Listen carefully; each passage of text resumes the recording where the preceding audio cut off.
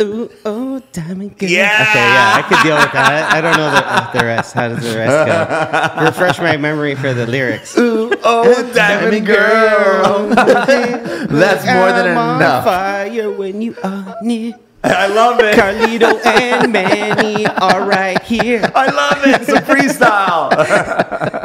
All right, so Mike, we have a very special guest, Carlito. we do. We have a very special guest. It's very early in the morning. Thank you very much. We have Mike from Greenstone Masonry. This is I. This is you, and thank you so much for joining the podcast. Thanks for having me. Uh, Why don't you introduce yourself and tell us a lot about you and how you got into this biz? My name is Mike Pereira. I'm the owner of Greenstone Fine Masonry, commonly known as Greenstone FM. I'm a mason. I've been at it for about uh, 18, 19 years. Wow, how old are you? I'm 40. I'll be 41 in January. Younger than yeah. us, eh? Still so young. Just a puppy, just a puppy. Oh, how did that feel Yeah. turning 40? I remember that one. Uh, turning 40 was all right. Something that I was, I don't know, my wife says I've always, I've wa- always wanted to be 40. Really? no, you won't want to do that. I'm an old man in a, in a young guy's body, I guess. I don't know, whatever. Okay, so Greenstone. So 20 years, eh? 20 years of lifting stone, brick, block, mortar, you name it. You're 20 years old, or I guess 21, 22? I was about 21, I guess, when I got into the trade. I got in as a residential laborer. I was working in the local 183 Wow. as a laborer. Union guy. and started out in the union. Funny thing is, I always wanted to be a mason, which is I don't know. What happened? Like, where was that spark? Most kids were, you know, like when I was building, doing working with building blocks and stuff. I was pretending that I was putting all the bricks together. Older historical buildings always fascinated me. I was always interested in the construction of them rather than being like the knight in shining armor. I was like kind of the guy that wanted to build the castle, right? That's funny. That's interesting. Yeah. I never looked at it that way. Got into doing, I've always wanted to do masonry. My dad is in construction as well, but he always told me not to do it. He's a mason as well? So, no, no, he's, I got one up on him. He does everything else but masonry. so he's Jack. yeah, pretty, pretty much. Yeah. So, uh, Well, we all are. We, you have to be to survive sometimes. Yeah, you got to know a little bit of everything, right? I know a little bit of everything, like can do some framing and taping and stuff like that, but I would never go and do it at somebody's house. I'll do it at my own place and then I'll, you know, I usually call a buddy to come fix it, right? Are, are you the kind of mason like my dad was, where everything in the house when we were younger had to be made out of brick or stone? everything, the fence, you know what I mean? The Uh, outdoor barbecue, everything I was out of brick and stone. no, No, no, you're not definitely like not. One thing I don't get to do is masonry work on my own house. That's for sure, because I'm always too busy. Shoemakers, eh? Yeah, So I'm always story. too busy. What was it? What happened? Like you just when you were a kid, you just you just were pulled towards stone. I was always interested in doing stonework, and you know, I wanted to be a mason. Got a shot at it to become come in and uh, be a laborer. My ass off as a laborer. Everybody hears, "Oh, you're in the union." That's uh, you know, you get pampered and that kind of thing, but it's not. That's not, not the that so- case. Not at all. I don't know, man. It's a lot hard guys, job in yeah, the it is. union. It is a hard job, man. Uh, that's the thing, right? Yeah, I went hard at it, and there was actually a point that I didn't think I was going to make it. Because you know, in my first few months doing it, it was You're like I was having a physical breakdown. You know what I mean? Like it's a hard job. They So, push you. They seriously it's push you. crazy. Yeah, but the most important part of, that I feel about the union is they really give you a pace. You really learn how to start to work mm-hmm. and per, and have production. Right. Because if you don't, you're gone. Yes. If you're not producing in a union, see you later. A hundred percent. Yeah. Yeah. They weren't easy on me. They didn't like coddle me and teach me what to do and that kind of thing and show me, hey, do it like this. It's like totally sink or swim. They're yelling at you. They make you feel like like garbage. You know? I've- like I've they're yelling those. in Portuguese at me and stuff, and they're like, yeah, fucking this guy's garbage. This guy sucks. Get rid of him. This and that. You know, I'm Portuguese.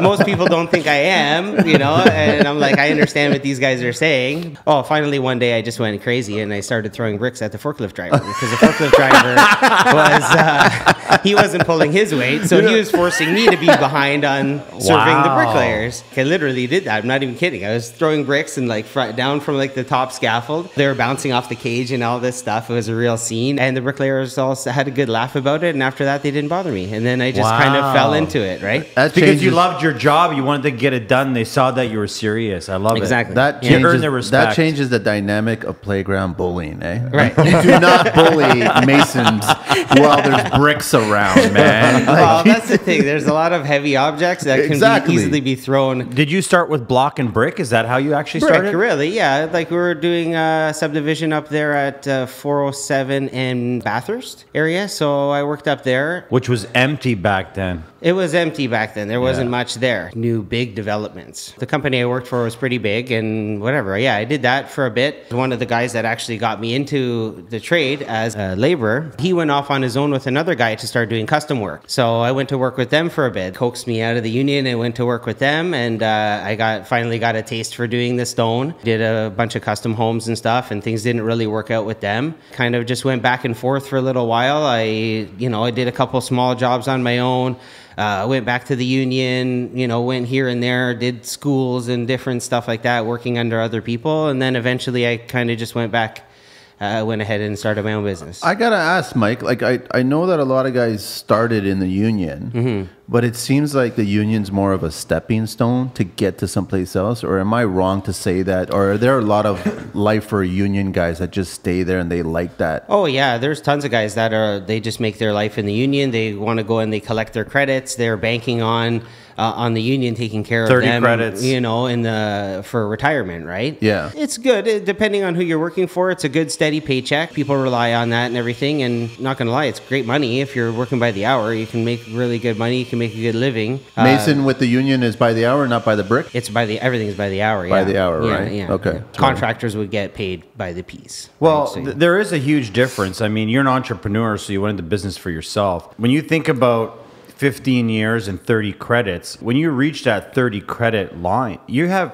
$5,000 money coming to you for retirement. And you don't have to worry about retirement anymore. So Of you course. Mm-hmm. you have to reinvest your money in the, in the proper places because you don't have that anymore. Do you miss that? Well, I mean, I didn't spend all that much time in the union to. How you many know, years gain were you in the credit. union Like for? a year. Oh, so just brick. Okay. Well, for the first part, when I first got started, I was in the union for a year, and then, like I said, I kind of went in and out. I was in local 183, I was in local two, I worked for Lehman Masonry for a bit, you know. So I kind of bounced around, right? So I didn't really uh, get to accumulate much with uh, within the union in terms of a pension or that kind of thing. what right? was the So- reason behind that? Were you hungry to do other kinds of stonework? Because I'm assuming the union is mostly brick subdivision. A couple reasons that I might have left the union. There was a bit of drama with a couple companies that I worked with, like especially within the union, they have Oh.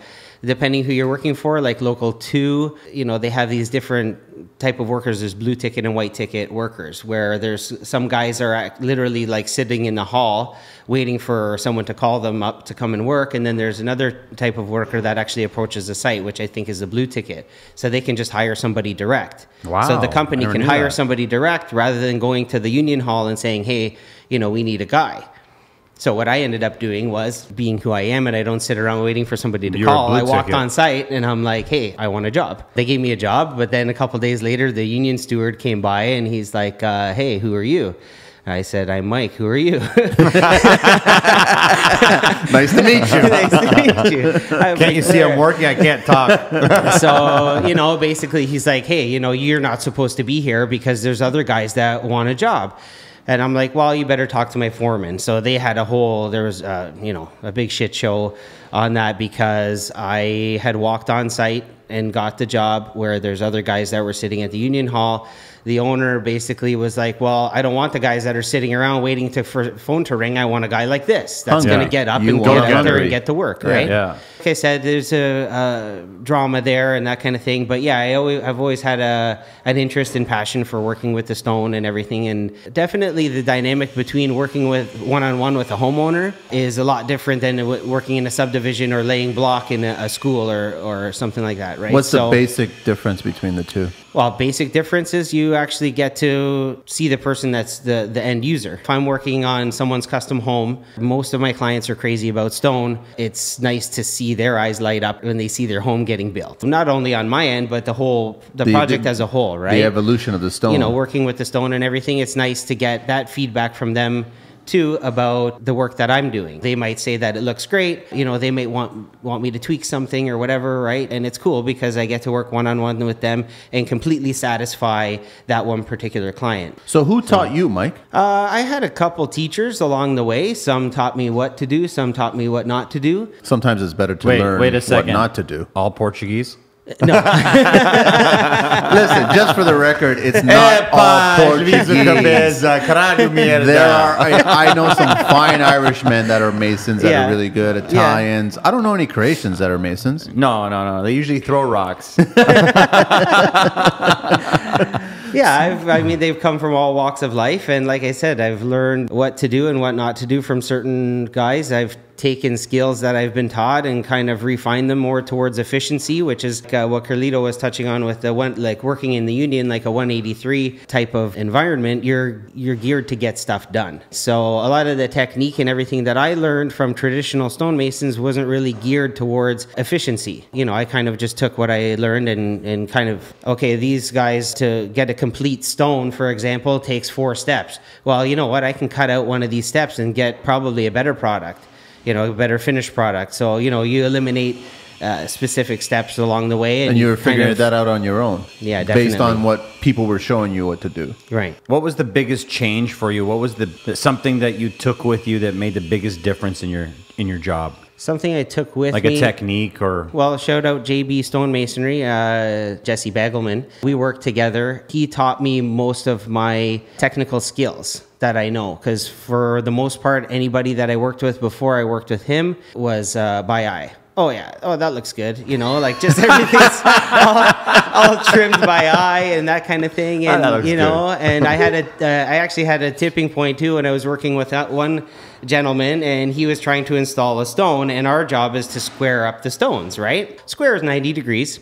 And Go uh, figure. you know, you know, approximately ninety degrees. Not eyes crooked. right? So, anyways, this guy was chiseling a, a cornerstone, and he was trying to install it, installing it against his plumb line, which is supposed to be, you know, plumb. That's why It- it's it called just- a plumb line. yeah, exactly. and it wasn't. It just wasn't working out for him. He was putting the level on the top of the stone. His uh, chiseled corner, his arris, wasn't lining up with the line, and he couldn't figure it out. He's like, "The line is perfect. I don't know what's going on." I'm like, "Dude, your stone's not square."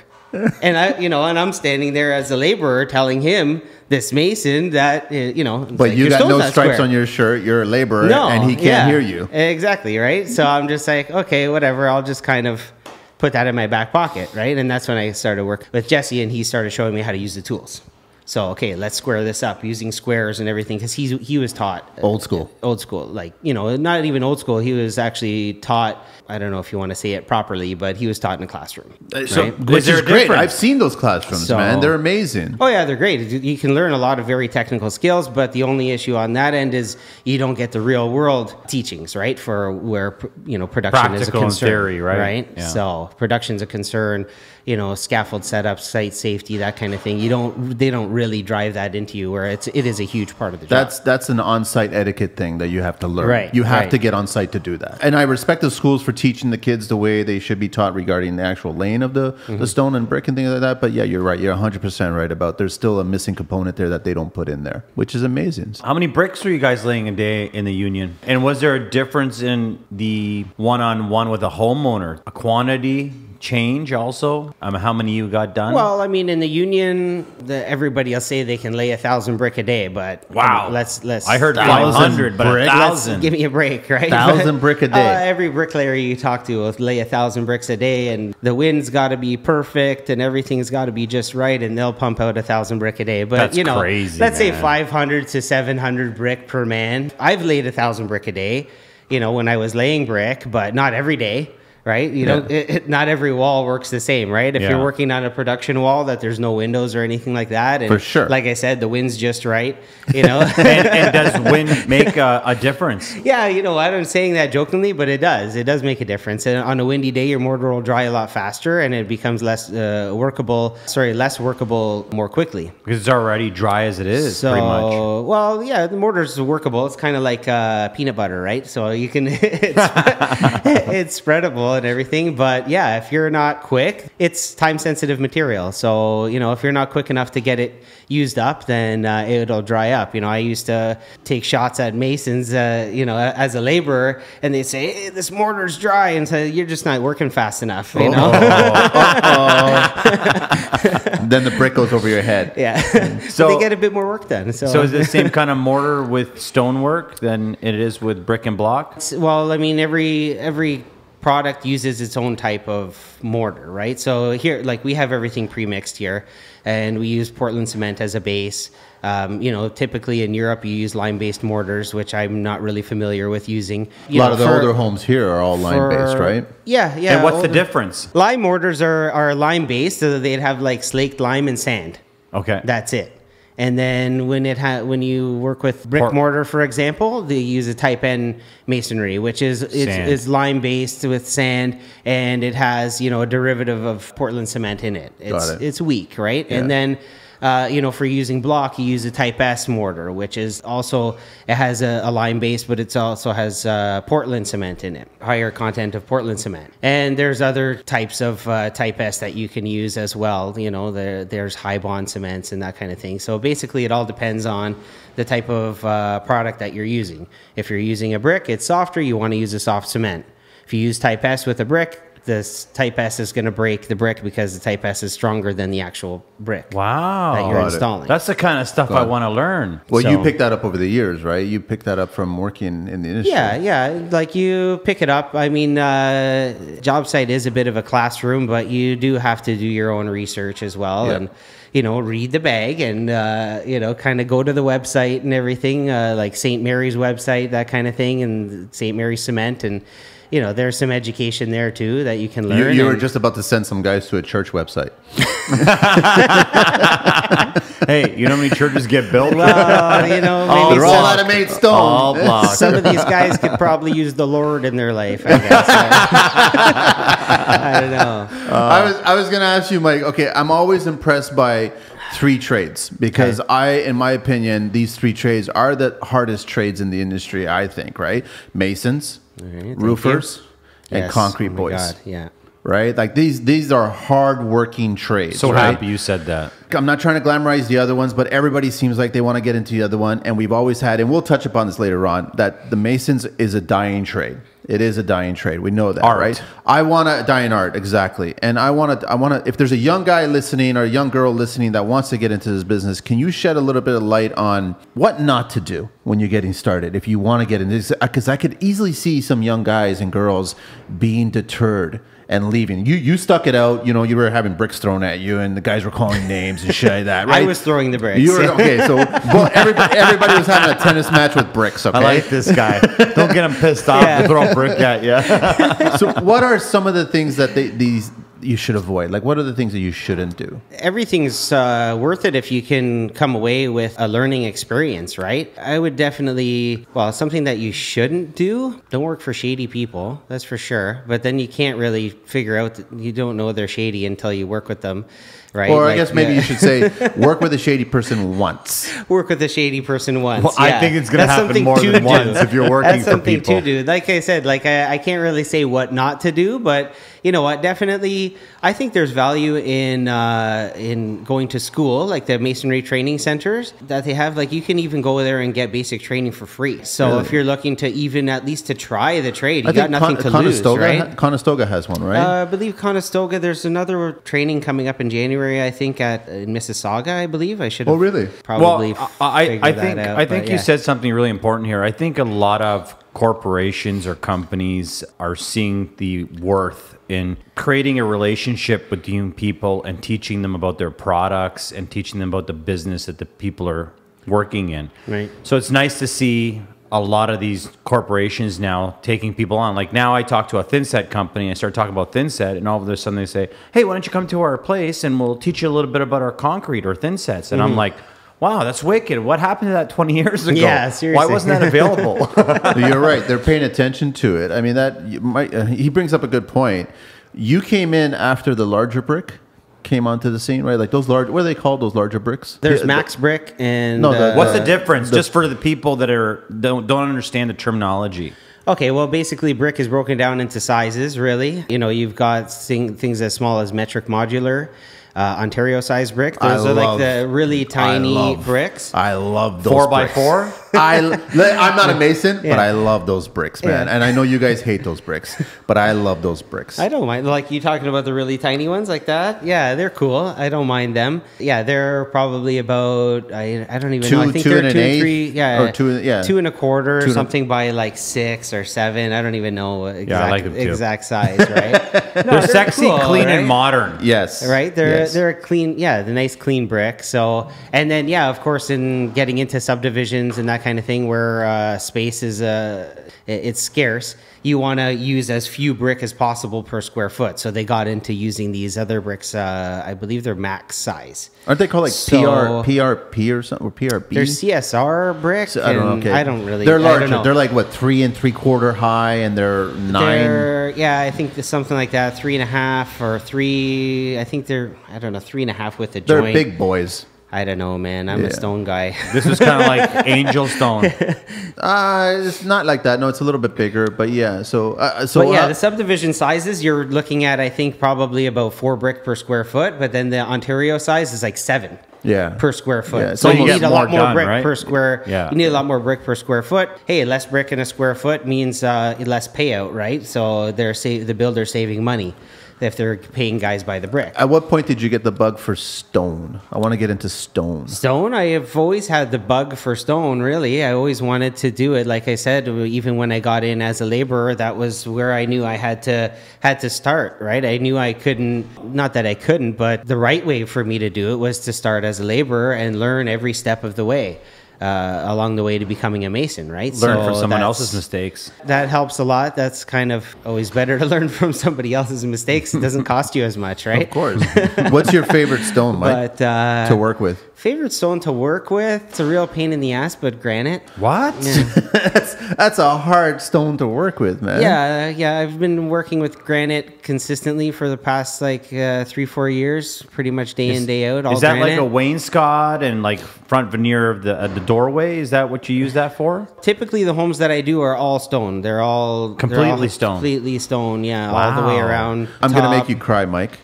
there was a job that I was quoting, I was bidding, and it was an older house in Yeah. Bloor West Village. Okay. They had original granite stone on the front because they were adding an addition to what's it. coming, Yeah, you know exactly what's Tell coming. me they salvaged it. No, no, no. So Mm. they just said that uh, we don't want to pay the money to extend it up. We don't necessarily like that color of granite. We're going to look at options to cover it up. So Mm. they didn't even want to remove it. They just wanted to cover it up. I don't know what the final outcome was. I should drive by and take a look at it. I'm assuming because of cost, it just got covered up with stone. What do you something. think about that Band-Aid idea? Is that okay to do? to cover up Yeah. stone. To me, I would never cover it up. I would never paint stone. Uh, you know, old Oh. I'm stonework, old stonework that's done properly. I wouldn't even touch it. Really, This was beautiful stonework. It wasn't Right. cracked. It was la- and it had the house had to have been maybe 50, 60 years old. Yeah, man. Then why not just clean it up and you know make it look pr- pretty? Maybe repoint the joints. You know, clean it up a bit and uh, just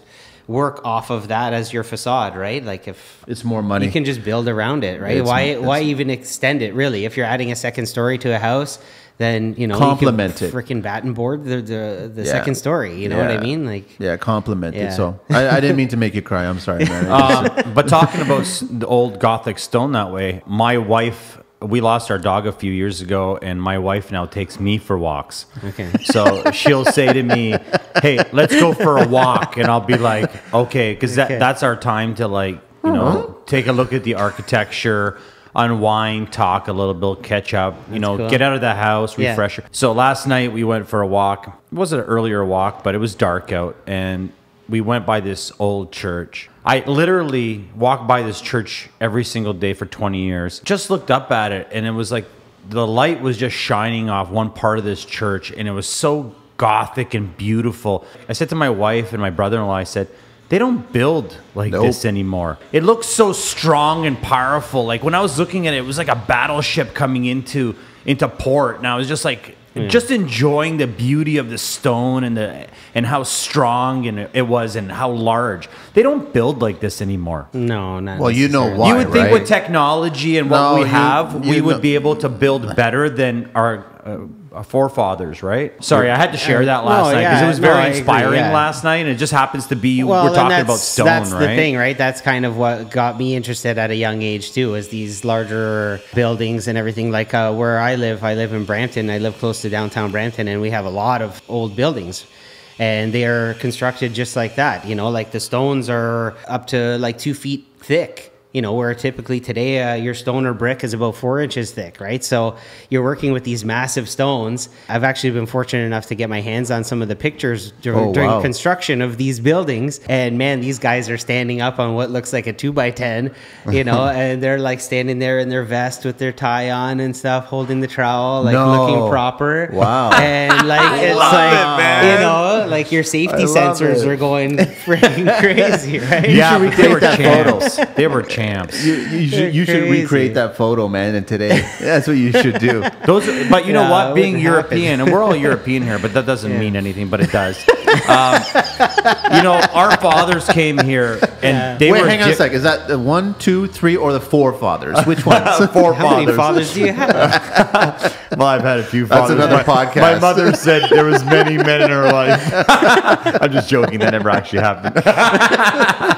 um, but you know, them coming here, they never complained. If they got hurt, they shut up and went right back to work. You know, Yeah. we're, we're in a different generation of people. Somebody stumps their toe and they want Oh, to like. they wanna oh my week god, off." I can't work. Yeah. I gotta go home. I'm gonna be off for three months. My course. toenail's broken. yeah. Well, that, that's the kind of people I find like, oh, I can't come in. I have My a throat cold. hurts. It's All a you gotta do is different check their generation. Instagram. Just check their Instagram, and then you'll find out what they were really doing. That's you know, the truth. you know what my grandfather would have done. My grandfather would have grabbed like four shots of Slivovitska, Yeah. drank it, and he would have been like, it's like spinach. He's right back to work. Do you Yeah, know- that's my- when they had Slivovitz on site too. yeah, there you go. huh? How many flags are you bringing up Yeah. on your si- on your job site? The, how are the young guys on your sites? You get a mixed bag, right? Oh, yeah? So yeah, I'm actually down to just me and one other guy. And that's it. Yeah, I used to have a lot of guys working for me. The stress level was really, really intense. There wasn't enough getting done. The quality wasn't there, so I just had to let Pull heads back. roll like crazy. Yeah. Wow. So yeah. So how long you been doing it that way? Close to two years. And it's running well. It's better than ever. Yeah. So he's the laborer and you're the mason. You guys are both. yeah, yeah. I mean, yeah, I've trained him up to lay some stone and everything too, so he Nice. kind of uh, holds his own in that regard. Much younger than you? Uh, But no, just uh, like six years difference. So he's younger than me, but yeah, he's. Are you he's afraid of good. him leaving you? Not necessarily. You know, we know each other for a while now. Mm-hmm. You know, Unfortunately. yeah. Is that for me or for him? Was that out loud? No, no. You, you know what? You've always been a, an amazing person. Great Thanks, man. attitude. Always funny. I love funny people. It shows intellect as much as it's childish. It's very intellect. Like when I see a when I see a funny person, I always say to myself, "That guy's smart. I got to be careful." so if he's laughing, he's hiding something. he's up to something. I know something you don't know. No, but I always found that like. You know, for example, uh, we didn't do a shout out today, but we're at Skylux again. Yes, And we are. Thanks, Mark. Mark It's is the a holiday season. fantastic guy. Yes, He's always thank you, allowing us to be here Yeah. to run the podcast. But he has a theory that how he keeps his guys he profit shares. What I'm leading to is I've only kept guys for a max of three or four years, and I've never been able to keep them longer because they just kind of take the knowledge I've given them and they don't realize how much I had to put into them, and then they just leave and either work for someone else or they work for themselves, which is good. If they Yeah. go work for themselves, I'm proud of them. If they go mm-hmm. work for someone Oh, else, I'm pissed. yeah. I'm pissed because they took all my technology Yeah. or my knowledge or my. I, I'm not heartaches. pissed because I actually want them to take whatever you can offer. But Yeah. usually they work for a bad guy, and it, and I feel like I taught them something so important, and then they just downgraded instead of upgrading. But like we said, you learn from the shadies. You know what I'm saying? So you, you they will learn. Hopefully, they will learn Yeah.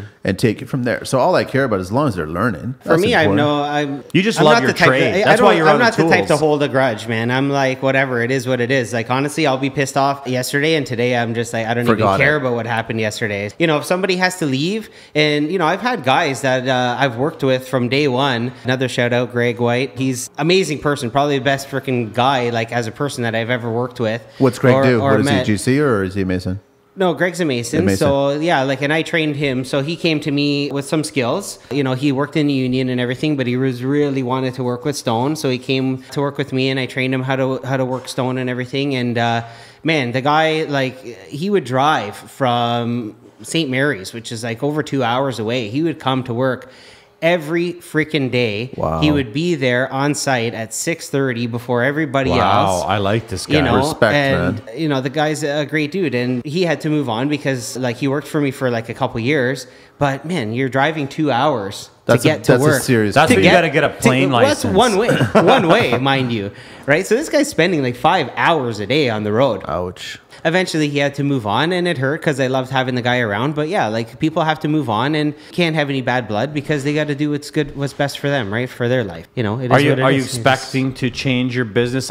I could tell that you're really passionate and you enjoy what you do because you're I do. still on the tools, you're still working for yourself, and you really haven't grown. A, you haven't really grown the company. You tried, but didn't want to deal with it because you like to be on the tools. Yeah, I do love what I do. I would think, anyways, every business owner wants to grow their business and have people doing the work for them, and they can step back and just kind of, you know, manage everything and uh, and just implement their vision, right? You know, Is that your plan at a point? that was, of course, yeah. I've, I had ideas of having a huge, not a huge business, but you know, a good sized business, probably with a couple crews and that kind of thing. I had ideas of having my own training institute and all kinds of different stuff. And when I have time to think, just fast forward, right in my head, like things just Yeah, go, I know. go crazy. So, uh. We're all like that. that. We're all like that in the beginning. but yeah, I mean, I've had lots of great guys. I've had lots of shitty guys. Like you said, you learn from everybody, Yes. right? Take something from exactly. everybody. You take That's something from is. everyone. Everyone has a good quality, even if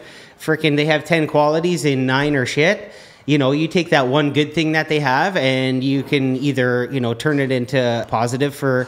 Yes. You know, for yourself, or you can use that good quality to their benefit too, right? Can't find somebody that's exactly 100% perfect. Everybody's got their little thing about them, right? But, you know, you just work with everybody the best I you know. can. I got stuck with handsome.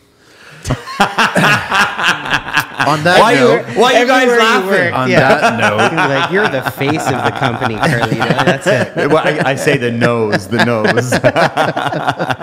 Mike, uh, tell us what kind of trowel you like to use. Rose. I've, that's what I I figured. use a rose trowel. Yeah, Yeah, that's yeah. what I I've always used rose trowels. What's the difference It's and why? I've uh, always just liked the balance of the rose trowel. It's a wood handle with a leather wrap around it. I just like the feel. I've tried other trowels, but they just don't feel right. I've tried, you know, Marshalltown, and everybody uses what they like. Or what they right? start with? So for me, I like using rose trowels because they have all kinds of different patterns and sizes. Depending on what I'm doing, I you know I choose my size. So typically, I'm a nine and a half uh, London pattern. And then the other question I was going to ask you is because I'm curious, what tool brand are you loyal to? If you are loyal to, Oh, dum, dum.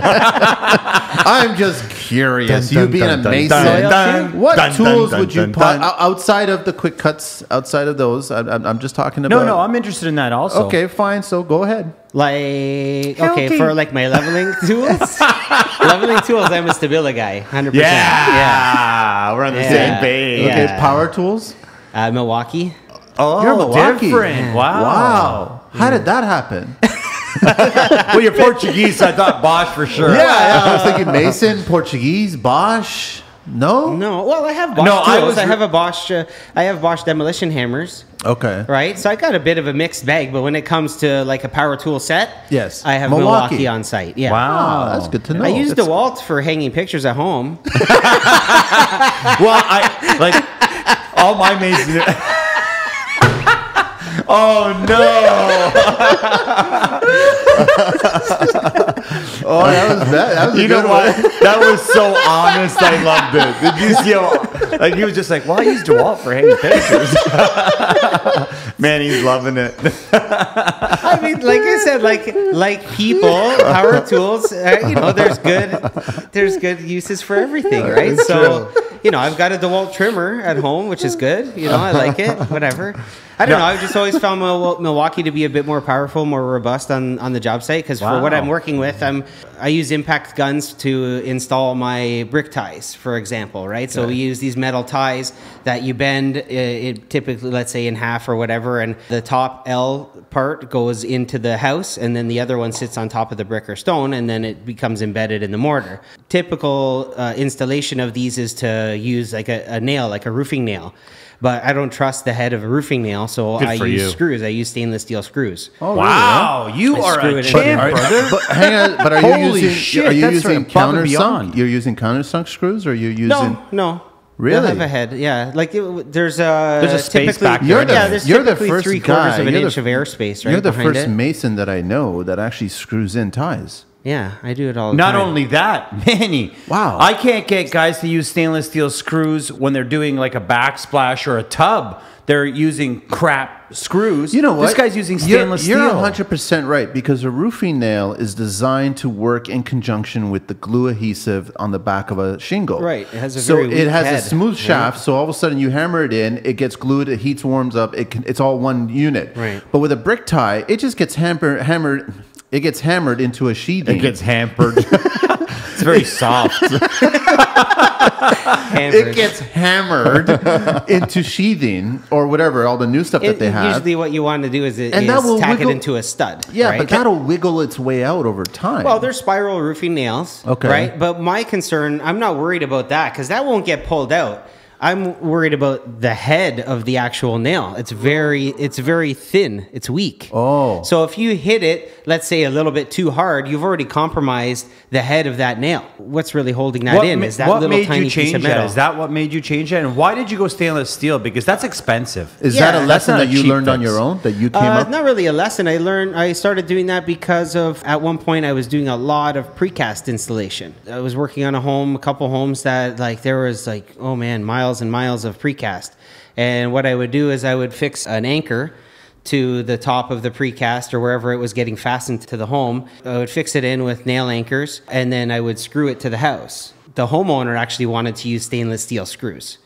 And I'm like, okay, that's cool because it was an ICF home and we were drilling Hmm. it into the to the webs. From then on, that's when I just started using it because I'm like, hey, that makes a lot of sense. Are there any other little tips that you can share that uh, oh man, I don't know. I've got tons of tips. That was don't really know. brilliant, by the way. That was a brilliant one. I got a lot Seriously. of respect. I That's- got a lot of respect for you that right one now. Okay. and, Oh, and using DeWalt tools to hang frames? that- those are two really solid I was really tips. hoping, honestly, he was between us two. So, by the way, I do not get sponsored by Hilti in any which way. They do not give me anything. I just really enjoy it. You enjoy Milwaukee. I mean, uh, Milwaukee. uh, Bosch. He enjoys Milwaukee. Yeah. It- it's so interesting. Really thought the debate was going to be between me and Manny. You know, because I got a cut saw. It's Hilti. All my hand tools are pretty much Hilti right now. I just thought for sure you were Bosch. Yeah, I thought the if- same thing, too. he usually asks me, "What do you think he's using?" And I get nine out of ten times I'm right, but you really surprised me, We want to be surprised. which is good. I want to hear more of those little tips, man. Any little things that you can share? Oh man, I don't know. There's Or I guess let, me, Whatever, let me ask you this: I was ask me recently, something, I don't know. I, was recently in New York, and, and I'm a huge fan of brownstones. Right? yes. Have you ever tackled a brownstone? Have you ever done that traditional way of? Manny, uh, what's do a brownstone, first of all? Okay, large limestone, custom carved pieces. Yeah. yeah, that's basically a brownstone. But, You know, pillars and, and archways and Yeah, like the brownstones in New York, I guess are what, like I guess townhomes. Uh, They're all townhomes, yeah. They're like four or five story townhomes. Right. They don't make them here. They try to make them. You know what I'm talking Mm-hmm. about, right? Like those. They're basically subdivision town uh, brownstone versions. Right, And right. they look Well, horrific. let's face it. Let's talk about it right now. This country is very far behind in technology. Yeah. unfortunately, and we're I tr- agree. you know it things are changing. Like Europe, whenever I go to the states, New York, Vegas, where it doesn't matter. Vegas? uh, Los, yeah, because there's New York, Chicago, Boston, Philadelphia. I'm Philadelphia. just saying that I always walk away. I always walk away with some kind of New York, especially. You're right. New York, especially the architecture. It's so classy. Yes. You know, it, when you walk there, you're just always in awe. Right. And we don't have that. It's just you Do you feel that, Mike? can- I, I feel that Toronto does not have an identity. I well, know that- Montreal does. Montreal's Montreal got some crazy architecture. but that gets a lot from the Boston where they're so close to, right? So I think that's that's where Montreal is. But I think Toronto is more of we just build whatever we want to build. We have that yeah, Toronto. I don't know if there's necessarily a theme in Toronto. The older buildings are pretty nice, like Queens Park, Yes. Old City Hall, Yes. that kind of thing. Like those are awesome, right? There's not that many of those size buildings, like historical buildings uh, in Toronto. Yeah, I don't know if you're talking about like the downtown core. I I guess it's just everybody's just trying to stand out, really. Yeah. Well, right? you got to come and visit me. Uh, Manny's been over uh, to our place, Yeah. and He's got a beautiful I, I live in a 140 year old home. It's all thick Gothic stone. Mm-hmm. Not one house on the block looks like our home. It's just got so much detail. Sometimes when I'm overviewing the camera, I'll see people standing out front, and they'll just look at the architecture. Yeah. And it's just something that, you know, I get back to that church last night. I could stand there and look at it and just be like, wow, Mm-hmm. so much art. We lost that trade. And it's nice to see that you're in masonry. There's that, I want to come back to that question: Is masonry a dying art? I don't know if it's necessarily dying. You know, like it's uh, it's definitely on life support. Hmm. Uh, you know, there's Well, what about fireplaces? Hey. Like when I think about a mason, I think about I got to go to uh, New Brunswick. I ended up in Nova Scotia. There was one of the last of the six masons in Canada. He was really like that was like 12 years ago. I got to meet one of the oldest masons, and he had on his desk books and books and papers of custom built fireplaces that you could walk into. It would transmit, you know, send the radiant heat through it, chambers. When he started talking to me about fireplaces, that was the point where I was, wow, fireplaces are so intricate and interesting. And it came from a mason. Like he was an engineer. Oh for sure. So like I don't see that anymore, you know, and and I no, appreciate definitely, that. yeah. Like when it comes to modern masonry, you're talking about a veneer, right? Uh, framing up a house and you're covering it with base- something that's basically decoration. It has no function whatsoever, uh, Oh, yeah, other than looking 100%. pretty, right? Yeah. Or, not, Yeah. or not looking pretty. But uh, Well, you guys have a lot of competition. That's the problem. Like 40 years ago, there wasn't that much competition. It was either brick or mm-hmm. it was some sort of siding material, right? Or mm. stucco. Stucco mm. started making its way 40 years into the, the market right after the Tin Men with all the aluminum siding shit. But nowadays, you have your brick, you have your stone, you have your siding, you have different types of siding, you have porcelain veneers, you have ACM, you have so much love competition now ACM. Yeah. right so it's just it's it's really hard and unfortunately like the brick and stone are, are one of the more expensive options so people start looking at it like Are they? Talk about that. Uh, what they're not the cheapest they're not mid No, well, I mean, there's uh, like you mentioned ACM, right? ACM is very popular, uh, especially for modern builds. You know, like you can use it on a transitional home or a, a, Yeah. a traditional home if it's done properly. You know, they can be used. But yeah, ACM is probably up there with stone. For as well. pricing. It's uh, yeah, it's expensive too. I don't feel bad if somebody doesn't want to use so much stone on their house because it, it's all about the look, the finished look. Some houses don't look good complete with stone. Some ho- houses look better when you only do like a Half, certain half. elevation, half and half, or you know, like you can do like uh, let's say uh, the front entrance is a projection of Right. the rest of the home, and you do just that part in stone, and the rest of it you can do with like batten board or wood siding. Stone can be used, you know, as a complete covering. Like the like I said, the homes that I typically do are 100% stone. You know, there's other homes that you can ha- use it just to, as a complement, right? Like just to kind of as a feature. speaking of which do you So- like working with a- icf homes and masonry I've only done two. too a little bit more of a homes. Challenge They're coming out not- strong now, though. It was great. I mean, there's nothing really wrong with it. It was uh, the walls were pretty straight and plumb and everything, and the web joists are or not web joists. The the webs are there for you to drill or anchor your ties into. They're plastic, which I was a little iffy about, but you know. Engineer- anchored. The engineer says, But they're it's good. anchored- they're anchored into the concrete on the middle. The thing that I really like about the ICF is that there's concrete there. When I have to anchor, let's say like a huge piece of precast, I can I can Nice. uh, Great Tapcon idea. right into the house, right? Where typical framed home, you're not able to do that. No. You you don't have that grip. Yeah, right? that's a great point. So that's huge. Like if if you're doing an ICF home and you're using large precast, like I've done lots of really really monster precast installs. I always Tapcon into the house. Nice. You know, pre-drill, put my Tapcon in the wall and I, I anchor in rather than using the the plastic. That's a uh, great point again. web, right? So some of your favorite spots regarding uh, masonry supplies. Basically, it kind of depends on aren't that where many I'm in the working. city, right? Depends on where I'm working and uh, what time I need it. So uh, there's King King It's so honest. I love it. King, shout- King Masonry.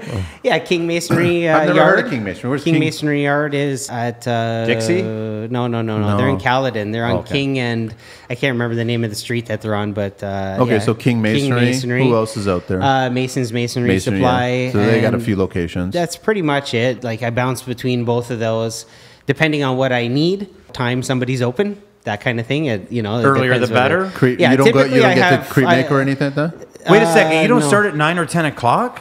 No. He's amazing. mason. What's wrong with Well, you? I'm man? making a joke. I'm making a joke. Some people say, "Oh, I got to start at nine, man." no, man, are you crazy? What? There's two So- sixes in a day. I typically have everything delivered, right? So everything's there as I need it. Uh, Just a quick bag of something or some kind of product that I don't need a whole skid because usually I order by the skid or whatever, right? So uh, if I don't need a whole skid of something, then yeah, I'll stop there, you know, in the morning and pick it up, or maybe I'll shoot there in the afternoon so I already have it first thing in the morning when I'm ready to work. That means I just hit the table. That means I meet.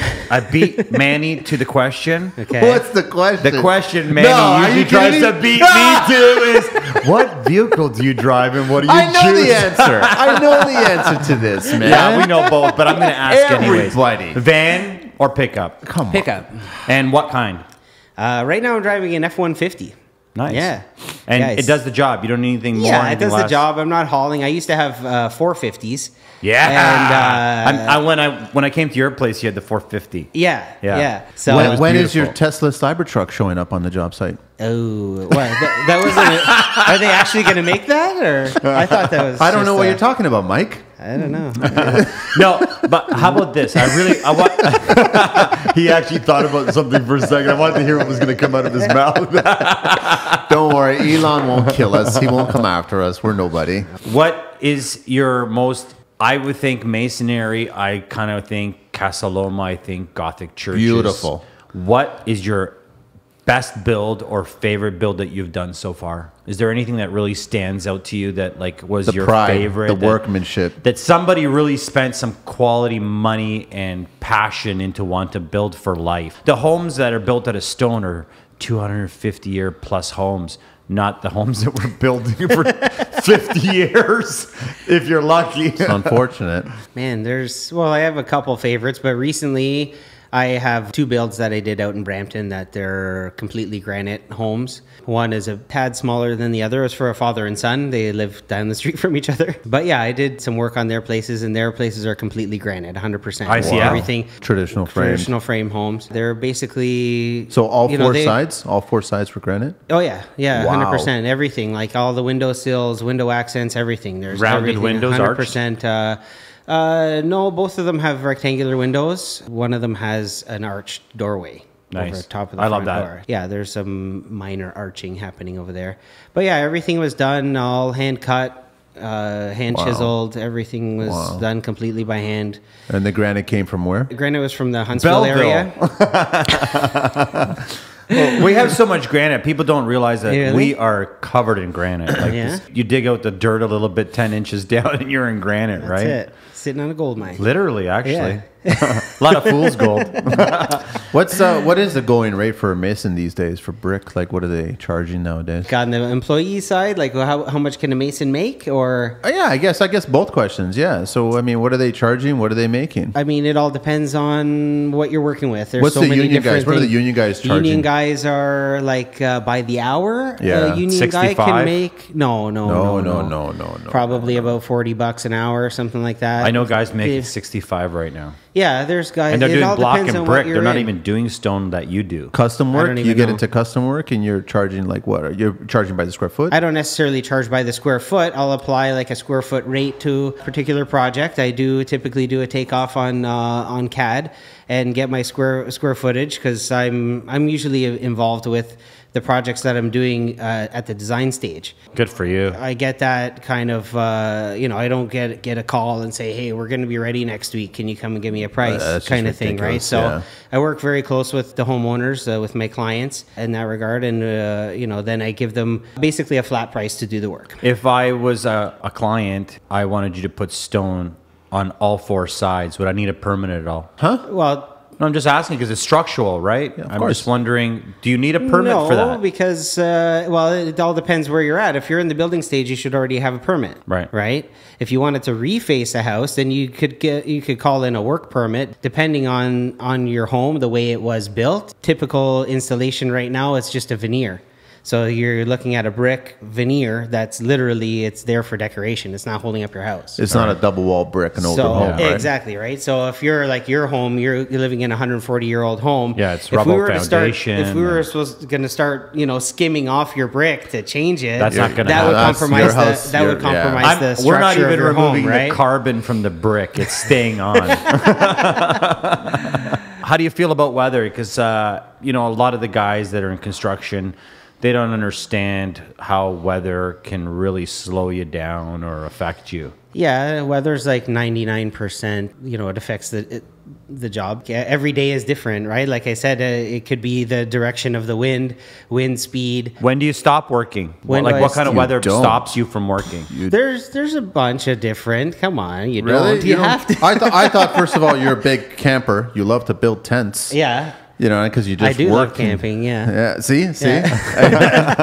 so this is Canada. So Yeah. as long as the tent is up and the propanes are going, you can keep on going. Technically Uh, speaking. to a point, yeah. It all depends on your setup. Uh, Yeah. It all depends on what type of uh, heating elements you're using. Yeah, like every, it all depends. Do you feel Everything that it compromises right? the It's actual kind of- workmanship? it could. Typically, let's say for winter work, for example, right? If I'm looking at cold weather, I, I don't mind laying stone on a day that's, let's say, you know, minus 10, minus 12. I could do it depending on where, where I'm at. If I'm using salamander heaters, which is basically just an open flame, you're only going to get heat like five, six feet off the ground.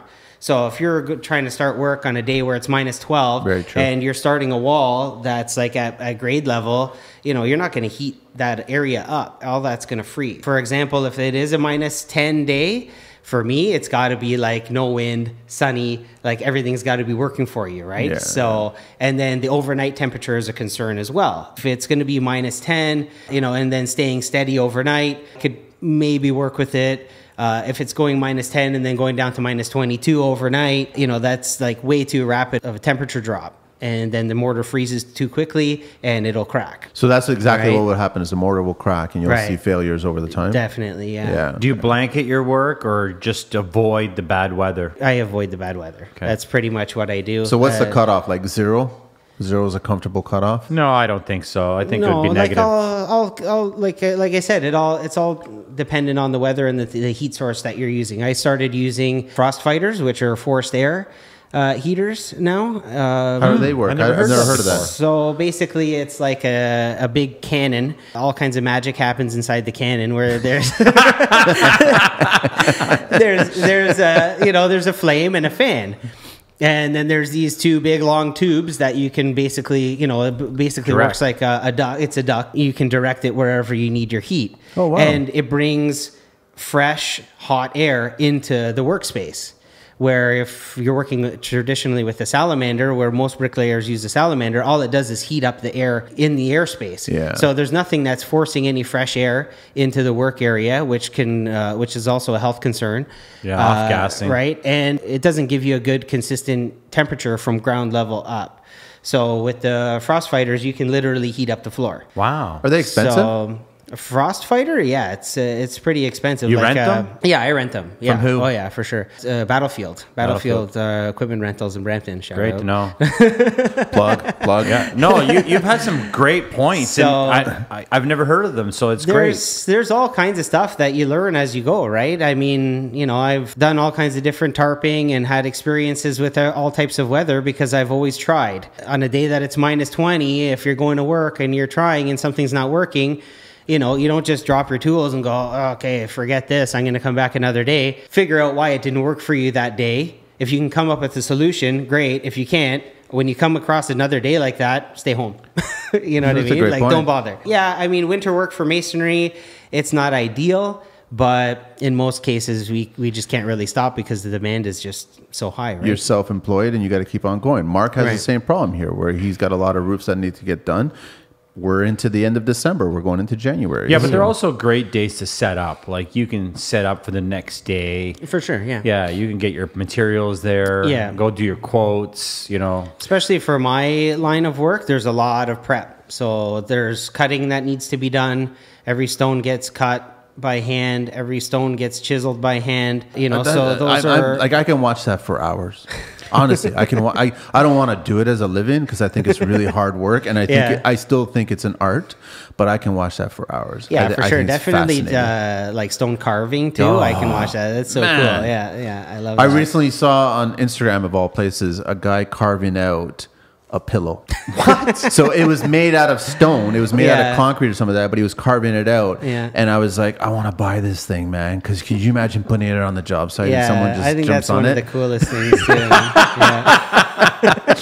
So, but, but I was going to ask you, Mike, how do you feel about the GCs that feel that uh, masons uh, should be responsible for uh, putting the house wrap on the house? I've always done that myself until recently because apparently it's part of the framing, Framing inspection. job, yeah. So I run into a lot of issues with it too because it's not done properly. Correct. So I find myself correcting it as I go because I'll see that they didn't overlap it properly or it's not overlapped at all. Not taped. Or not taped or anything like that. To me, overlapping is more important than taping, really. True. But yeah, taping the seams is, is important. I, I think it, I think in today's day and age that we should not be passing this buck onto the trade. It's not supposed to be doing it. It's supposed to be done properly, and that's Yeah. just how it is, right? What's your favorite rap? And I don't mean like Never saw that one coming. Uh, favorite rap? I guess I'll go with Tyvek. whoa. It's time- yeah, but the thing is, I, I, this is a dinosaur. I'm so, I'm sorry to say, Like, man. whatever, Nowadays, and actually, our next guest that we're speaking to, we're going to be talking to uh, somebody who does passive homes. Gone are the days of OSB sheathing. Gone are the days of any kind of wood sheathing, and now we're using insulation boards, thicker, one inch, Fiberglass two inch, boards. fiberglass boards, reflective boards. We're using all that that are already all tied in together. I mean, zip systems. I mean, we all have different choices. My my go to is VP 100 or VP 160. Yeah, membranes. Yeah. There's no taping. It's already peel and stick. Okay. You know, it sticks to everything and anything. Breathable. But in the majority of your experience in the last 20 years, it's mostly been house wrap. Yeah, just house. that's the thing. I mean, I've seen full homes that have been like completely blue skinned. Nice. Honestly, that's nice, it. man. Like It's- someone's home is It's blue crazy, yeah. Blue skinned, or they do uh, spray foam on the exterior. Yep. Done well in lieu of like a Tyvek, they use um, That was I like that in lieu. in lieu of a Tyvek. Oh yeah, Carlito was in the loo this morning. and the loo turned into a poo.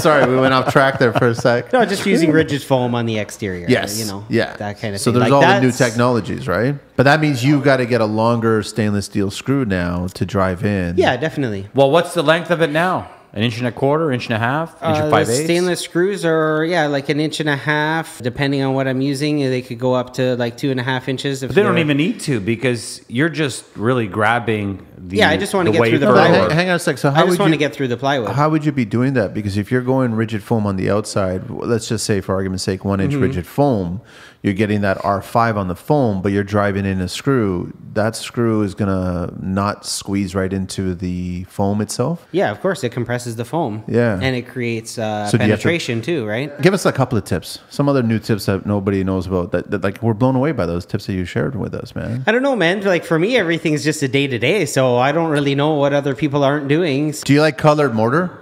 Colored mortar, depending on the product that you're working with, yes, you can Yeah. use it. I use colored mortar when I work with granite, depending on the color of the granite and the finished look that I'm after. If You're want, making it darker. Yeah, if you want like a more of a modern or transitional kind of uh, look, you go with a colored mortar. Typically, it's just like a charcoal or black coloring to it. So basically, the mortar will dry to be kind of a pewter color. As the mortar that I use for granite is a high bond cement, which is lime and Portland based, and it dries kind of brownish. Okay. if you don't use any color. Depending on the color of stone or the look you're after, it won't really look good with that type of stone. So I add the color, you know, depending on what I want. I can make it completely black. I've used it, you know, before. Wow. Where it's like, man, like ma- magic marker and, black. and it stays black, black. Yeah, oh yeah. It well, it'll dry. It, it dries a, a bit lighter, but it's pretty dark when It's it dries, bright. It must depending look on how much amazing. pigment you use, It? It, must look amazing when it's raining. I was recently at Crate Maker and they were showing me some of the new Italian and European bricks that are coming in that are like 16 inches long. Mm. Yeah. And two inches tall. I And love that, man. That's a beautiful look.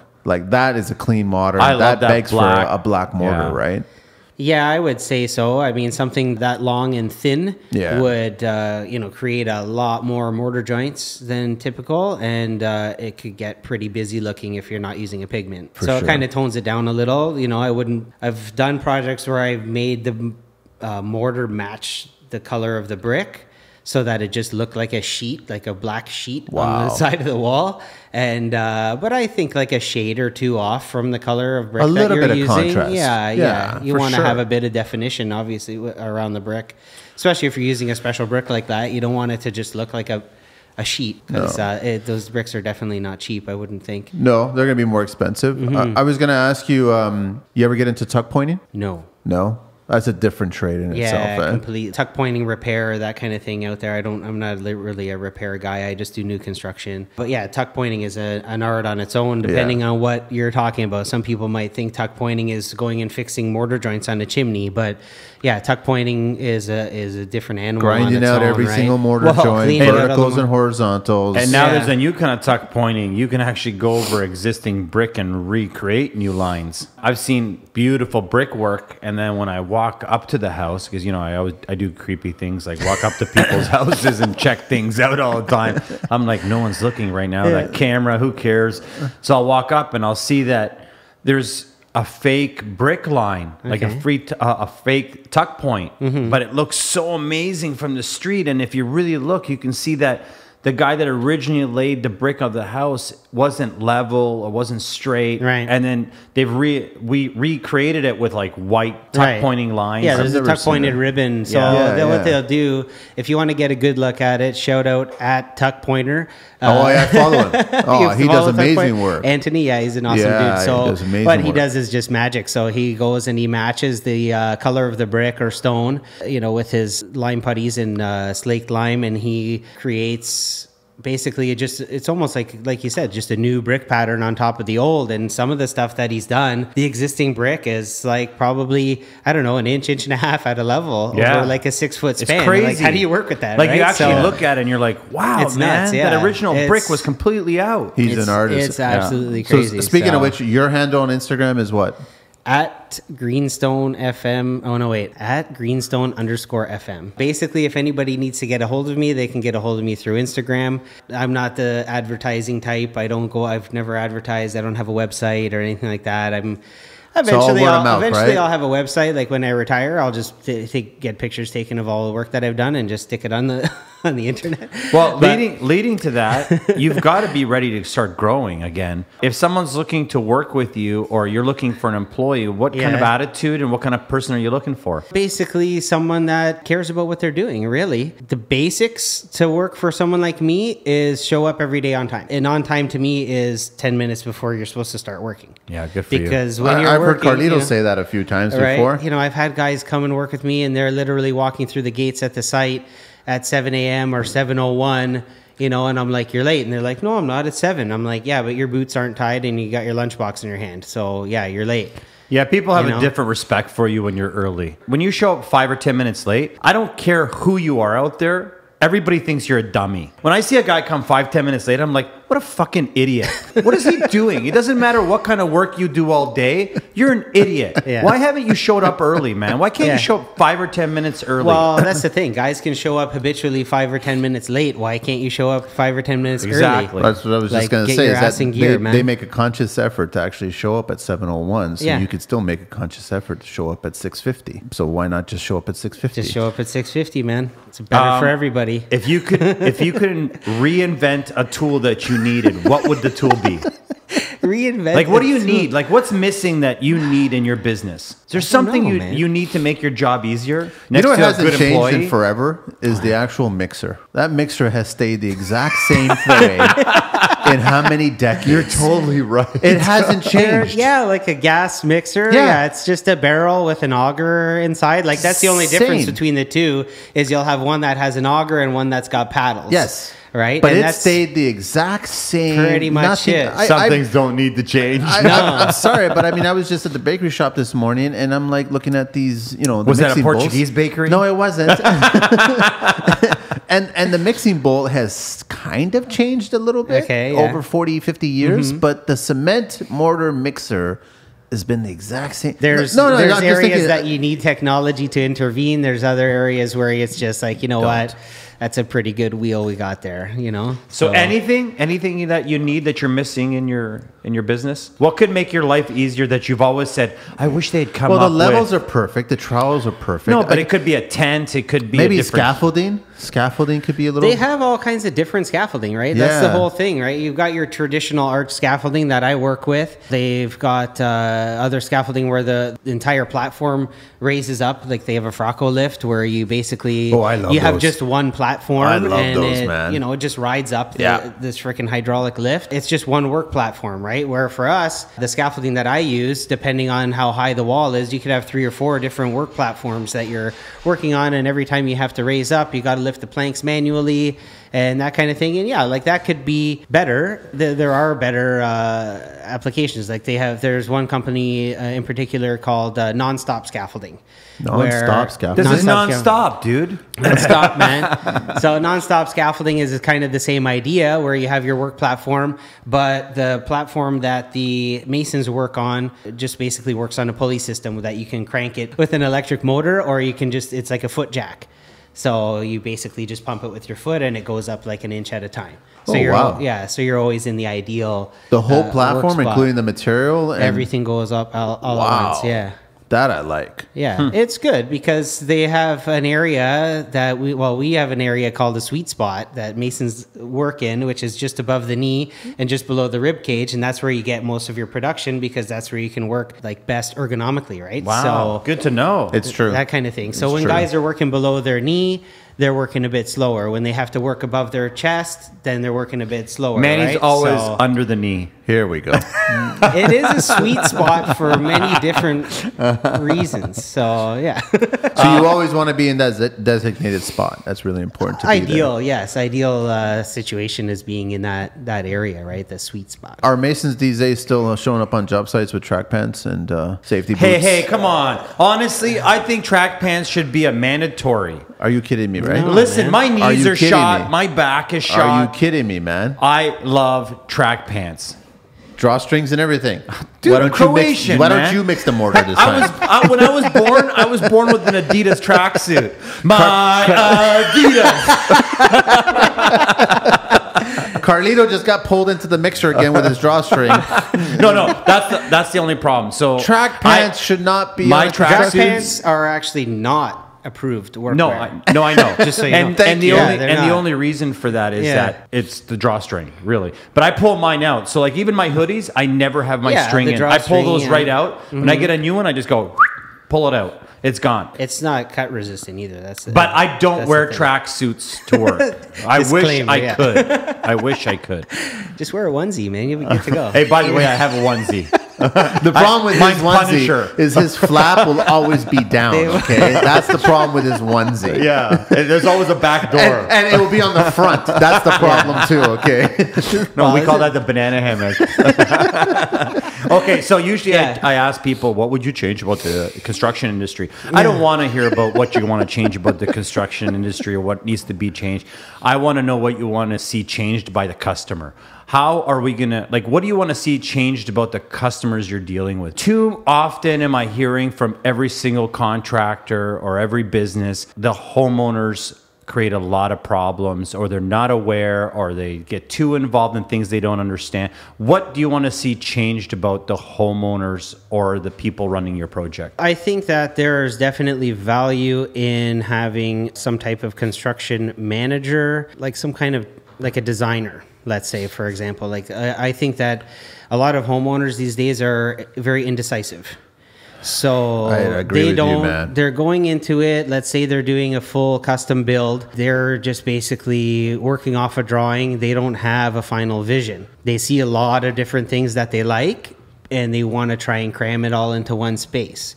Where they should pick a theme What you're saying, Mike, is actually 100% true because the reality is that clients feel, unfortunately, I've said this so many times, they are the most ignorant regarding construction, but yet they feel they're the most powerful, the final say, and the point person because it's all their money. Right. We get that, mm-hmm. right? But, we're there to spend their money wisely. Well, that's the thing is like we're, we're there to educate them and direct them into a certain path of where they should go. If they've chosen a certain style of home, this is where you're going to go. Here's option A, B, or C. It's Right. not A all the way down to Z, right? That's the problem. And in today's day, with the online and, and social media, and then all of a sudden they're friends, and then unfortunately the stupid TV shows, there's a lot of lying going on. And then all of a sudden we are given all those lies, and then we're told to fix those lies. I wouldn't say lies. I say misdirection. misdirection or misunderstanding. The truth is, is that you know when you go online, you're not speaking to the contractor that's on the tools every day that he sees what works, what fails, what doesn't work. You know, you can't take the best of all products and mix them together. They don't work. Just because of the best of everything, Right. it doesn't work. It would be nice that when they hire us, they can trust us. Unfortunately, we go back to that. What do you want to change in construction? There's a bad attitude still. People are mm-hmm. just coming to work to get quantity done, not quality. Well, this is the thing too. Like guys, like you guys, you're general contractors. You guys work on tools as well. Like I said, there's value in hiring construction management, but you know what? If you have really good trades to work with, you can get it done. Probably even without a manager, like the house that we just finished recently. It's a twenty-seven thousand square foot home, and it was all done without construction management because we work with, like, I work very closely with uh, with the homeowner, and basically, I kind of working as like a somewhat of a manager with him, right, along alongside them. So I've done the family that I worked with. This is the third home that we've built for them. Wow. And you know, I don't. I say we've built, but you know, I'm not the guy. I'm not the builder. You know, I bring in good trades that that I have and help them out in that regard. I help them out with the stages of construction. You know, what goes where, uh, who comes in first, uh, who comes in last, that kind of thing. The trades that we work with, they're self sufficient. They're not coming in asking, you know, oh, what do I do, this and that. Like they know what's up. So we're all working together for the same final result, right? To get a to get a good result. Basically, yeah, we've done that a few times over, and it's worked great. You know, you can't do that with everyone. I'm gonna the homeowners that put a lot of trust in us, right, to Yeah, get everything done. what I was and uh, you know, I've got a pretty good network of uh, trades that I, I call on to do these projects with. I think these homeowners respect the trades. I They think do. They, do. right? Yeah, they're For the most part. No, they respect the trades because I think for the most part, most homeowners and clients don't respect the trades. They respect designers and architects Right. And that kind of I don't want to get dirty kind of mm. mentality, right? Well, that's the thing. I've had homeowners on both ends of the spectrum, right? I've had a homeowner say that, you know, I'm not going to have a tradesman design my home. On the other side, I've actually sat down with the homeowner and helped them design their home. It's funny you say that because tradesmen always change the designer's ideas because we make it more realistic. We make it work. We make the budget happen realistically. Also, when you're a How's designer, that? How's that math add up? I don't understand what you're talking about. Uh, What Carlito. happens is people create an idea in their head and they think, "Oh, you could do that for four grand." Shut up! you can't do that for four grand. I want to see you tell a client, "Shut That, I know that meeting will go pretty well. honey." Yeah. He just no, said, but, "Shut I, but, up." I, to but I am I am very honest. So what I do is I usually go in and I'll listen to the designer, I'll t- listen to the homeowner, and then at the end of it all, I'll just stop them and say, "That's not going to happen. Right. That's not going to happen. Yeah. Let's change this." of reality, of course. If you want to use me, Yeah. this isn't what we're going to do here because Right. it's not realistic at this budget. If you want that, we're going to have to change this. What is the thing that always happens that you hate? Like when you come on, you're expecting just to start your work. What is not always prepped for you? What is the the one thing that's always left behind that is a frustration of yours? Is there anything? house wrap was brought up. Yeah, no, no, but I, I but I want to I want to know like before he starts, what is it that that one thing that always keeps happening that you wish you could like just change you about want- the trade before you? If- Do you want the windows in? Or Oh yeah, yeah. Windows have to be installed and everything before I come in. I'd say a, a mason's greatest challenge is having the site clean and graded. wow, interesting. That would. But be here's the question, you though, because I've been told this by other masons saying, listen, Manny, you got to understand, we're the dirtiest trade out there. I go, yeah, I Yeah. understand that, but don't leave my But you need a site safe worse. ground to work on. Yeah. yeah, and set up. for a scaffold setup, everything has to be clean and great. It has to be flat. It doesn't have to be level, but it has to be flat. But it's also better for you so you can clean up after. Yes. Yeah, of course, right? Yeah. Everything is uh, we clean up as we go. Every scaffold that I set up has a garbage can at the bottom of it. Everybody's responsible What? for tidying up I've at the end of the day. seen a garbage Yeah. bag attached to a scaffold, No, man. garbage can. Garbage can. with a lockable lid. oh my god! Wow, I love that that's one, man. special, man. Special. Yeah, Can in you I take a picture of that next time? tidy I will Yeah, repost that, sure, man. for sure. Seriously. That's Yeah. amazing. I would have thought Yeah. you would have had a slide right I- into a bin. no, just because everything you work with is heavy. Like, Yeah. usually what guys well, do I'm is talking chip about it, just throw general it. garbage like water bottles and stuff like that, right? Uh, let's say for offcuts and that kind of thing. I do have a bin for that, like a giant like stone bin kind of thing, and we just you know you just tip it off the end of the scaffold and it usually hopefully lands in the bin. My process that I use for working with stone is geared toward having less cleanup and less waste, right? Because I prepare everything ahead of time before I actually bring it to the scaffold. So all my stone is cut and chiseled. So all those offcuts, all the chips that are accumulated from the chiseling are all concentrated in one area. So that which is not on the scaffold. So I find it a lot uh, more safe to work that way. There's less damage, broken windows. There's less damage that happens. You work more efficiently because you're focused on one task. You know, you get the job done quicker. The the cleanup is a lot easier because all the mess is concentrated Uh, in one area, you're, you're, right? You're, So- do, you're the kind of smarter contractor where if you're making a trip to the truck, you're going to grab a tool, and then vice versa. If you're going downstairs or to the bathroom, you're going to carry garbage and bring it with you. Right, yeah. You're just doing that. So by the end of the day or by the end of the week, you have less work, less cleanup, yeah, less you managing. clean as you go, man. Like, Yeah, that's, that's the how it thing. you don't want to be tripping on stuff while you're working. You know, Exactly. I've I've worked with loads of guys, and guys have worked with me, and they're they're just focused. They're so hyped about getting stuff done, and they don't want to get in, maybe get in trouble or whatever. Literally tripping on stuff that they would take 30 seconds, get that stuff out of your way. So you can work properly and you won't hurt yourself. You're going to work more efficiently, and there's uh, less chance of you getting injured. Right? Always focus. I always focus on That's that. Right? Well, Having you just said something really important to me. Have you thought about if you get sick or injured, what's going to happen with your business? What's your exit? What what's your strategy to keep You're, you're basically a one man continuing shop. on? Pretty much. I mean, yeah, like sick or injured, then yeah, basically it would come to a grinding halt. Right? Do you have a do you have an exit plan right now? Is there anything that you've thought about? yeah, there's. for those things? Uh, I, I've always got things in my head and things in the works. I've a couple different things that are going to come probably in the next couple years come to fruition. I'm not thinking. Uh, that I'm going to be laying stone until I'm 55 or 60. I don't think I'll ever really retire. I could never not work. That's when you'll Well, start working the- on your own home. that that's that's the problem. I'm older now. Okay. When I turned 40, because you're 40 now. When I turned 40, my pain started. okay. My knees hurt, mm-hmm. and it's a magical number. It's almost like 40. it's like 40 happens, and your body honestly. There's a switch that says Shut down. You're 40, bro. Yeah. And all of a sudden, like, shit starts happening, man. Yeah. Like, weird things like missing work, having to see doctors. Okay. What are you doing for that? Like, is there. you- Well, you, do I you mean, have any my, benefits? I do have do you do very, anything? I, I mean, my work is very heavy. Like he said, the knees. I've actually started feeling my knees uh, a lot lately. Uh, honestly, my answer for all that is yoga.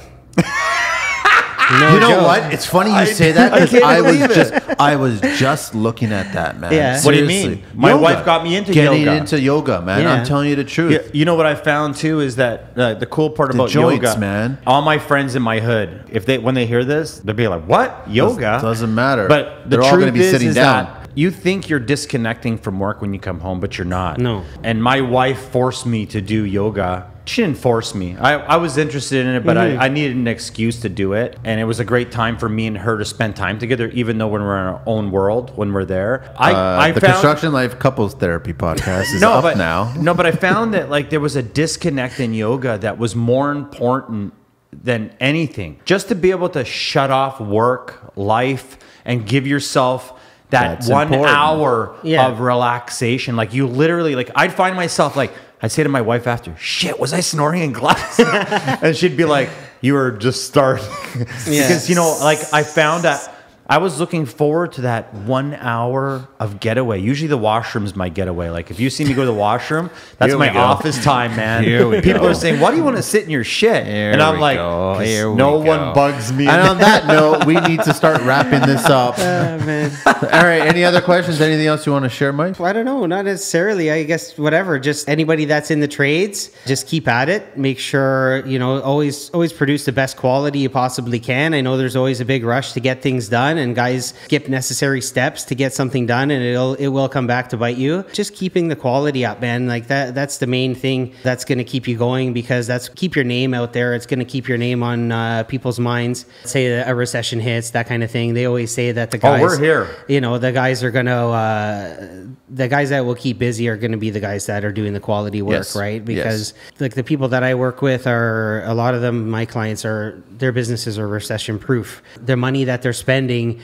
they didn't make it last month right? No. they made it 10 years ago. So it's like you know it kind of doesn't hurt. I started my business in a recession you know and i've been busy every day since. Depending on the type of work that you're doing that could make or break you because if you're focused on doing custom stuff that's extremely high quality uh, the people that are going to hire you aren't going to be you know worried about the economy necessarily. On that note, why don't we just start with coming up No, I mean, I, I think we've talked. Hang on a sec. Hang on a sec. I, I think we've touched upon a lot. I think we could still talk a lot more about the industry, but Yeah. I, I think we touched upon a lot of good stuff. i here, could talk about yoga for a couple more hours Hey, dude, I'm so impressed with you. I didn't expect that from you, honestly. yeah i'm actually Uh, a certified uh, yoga teacher Are you? Yeah. Really? Wow. We got to talk more. I didn't know that. Why didn't I know that yeah, about I you? I did my teacher training like I don't know, probably about nine years ago. Ashtanga Vinyasa Yoga. Wow. I did not know that. That's wow. amazing. That's why you you, you never talk yoga. about it. And at no point have you ever spoke about it. Now everybody knows. No, it's not like I'm gonna. Hey, my name's Mike. I do yoga. You That's know, like- fantastic. Good for you. I don't practice nearly as much as I used to, but yeah, it's probably the Stone one Mason thing. and yoga. That's probably the You, you reason don't, I'm. you don't strike me uh, as a yoga. uh, Not that there is a particular yoga person, but there is like Stereotyping there? every every yeah. There's a stereotype to everything. Usually, when I go to class, everyone's so pretentious and perfect. and Okay. you're just so humble and normal to me. Like there's no. Like I just find com- myself comfortable with you. I didn't expect that. I guess some stereotyping again. This know, has been a great podcast. Wait, wait, wait! Thank Save you your money, so guys. much. Save your money for rainy days Yes. and for sick days. We'll be talking about that And on for the yoga other classes. podcast. That's Yeah. important, and right? for yoga That- classes. Yeah, and yoga Give classes, yourself there some you time. Mike, thank you, thank you, thank you so much, man. Thank you for the valuable information and much respect to the masonry industry. Masons out there. He's trying something different now. I love that. Get us out of here, Carlito. Straight from TO 416, baby. Drop the mic. Drop the mic. Bam.